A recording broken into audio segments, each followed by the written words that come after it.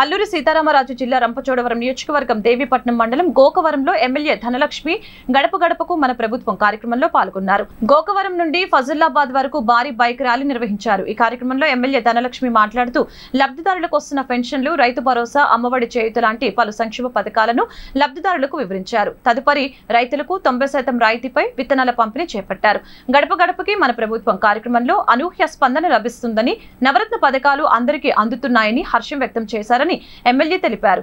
ఈ కార్యక్రమంలో దేవీపట్నం మండల ఎంపీపీ కొంచెం Murali vice MPP Garapati Murali Krishna ZPTC శీర్షం Satyaveni కందులపాప్చి కట్టా సత్యనారాయణ నియోజకవర్గ ఏడు మండలాల ఎంపీపీలు వైస్ ఎంపీపీలు జడ్పీటీసీలు ఎంపీటీసీలు సర్పంచ్లు పలుశాఖ అధికారులు వైఎస్ఆర్ పార్టీ నాయకులు కార్యకర్తలు అభిమానులు పాల్గొన్నారు.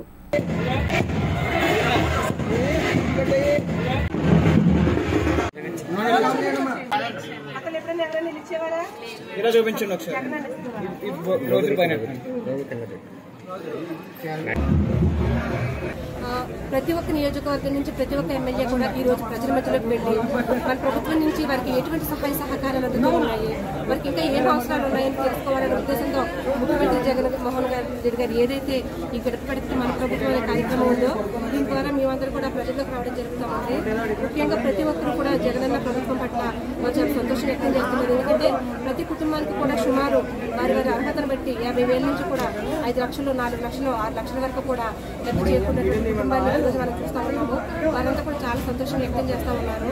ఈరోజు కేవలం కరోనా కూడా ఇటువంటి పథకాలు ఆగకుండా ఇచ్చినందువల్ల ఈ రోజు ఇంకా మేము మా కుటుంబాలతో ఇలా మా సంసారాన్ని ఇలా నడిపించుకొని ఇప్పటివరకు రాగలిగామని చెప్పేసి వారందరూ చెప్తా ఉన్నారు. ఖచ్చితంగా జగన్ గారు మళ్ళీ మళ్ళీ ఇలా రావాలి అని చెప్పేసి వారంతా కూడా కోరుకుంటూ ఉన్నారు. ఏదైతే ఇంకా దేవిపట్నం మండలం ఏదైతే ఉందో రెండోసారి రెండవ మన గడప గడపకి మన ప్రభుత్వ కార్యక్రమంలో పార్టిసిపేట్ జరుగుతూ ఉంది. ప్రజలందరూ కూడా వైఎస్ఆర్ ప్రభుత్వానికి బ్రహ్మరథం పడతా ఉన్నారు.